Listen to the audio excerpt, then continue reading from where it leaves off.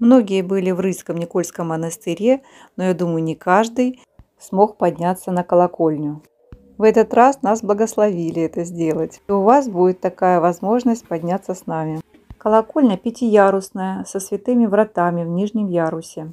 Впервые в описях упоминается с 1764 года. Уступы восьмериков, уменьшающиеся в каждом ярусе, создают аналогию с башней. Сооружение завершается барабаном с орнаментом из кирпича и луковкой с золотым крестом. Ну что, наберемся смелости и вперед!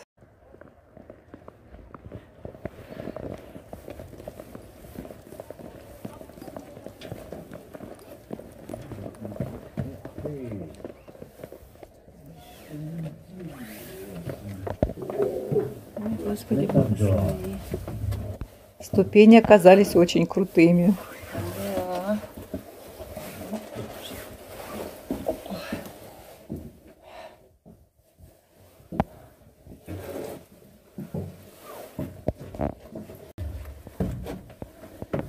Видите, такие неудобные, да? Да.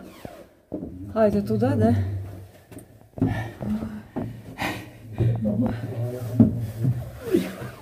Ой, какая-то комнатка.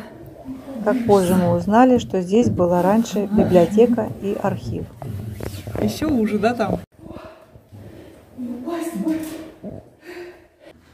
Подымутся вон, Ида.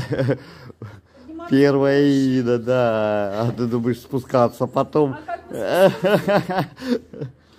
М. Спускаться, наверное, еще хуже будет. Да, он и Аня там. Алло, мы тут.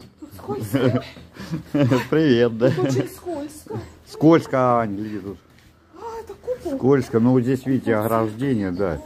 Хорошо, что хоть ограждение не упадем. Он же сказал, батюшка. Это. Не упадем О. вниз. Колокольня. Вот оттуда поднялись. Вон такой вот.